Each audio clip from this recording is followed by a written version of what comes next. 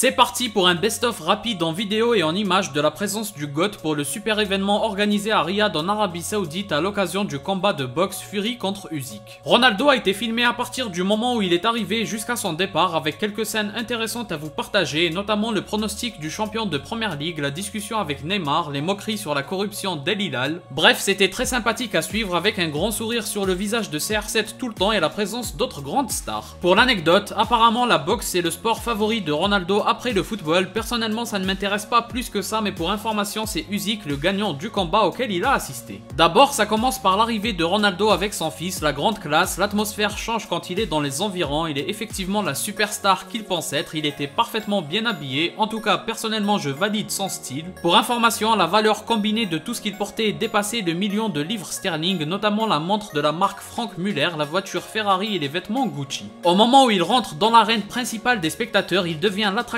numéro 1, tout le monde n'a plus d'yeux que pour lui, c'est vraiment le personnage principal qu'il pense être même quand il est censé être secondaire. Ensuite, un fan d'Arsenal qui est aussi un promoteur de boxe anglaise est venu à la rencontre du GOAT pour l'informer qu'il était attendu chez les Gunners. Et c'est là que CR7 a fait son pronostic comme quoi Arsenal n'allait pas gagner le championnat.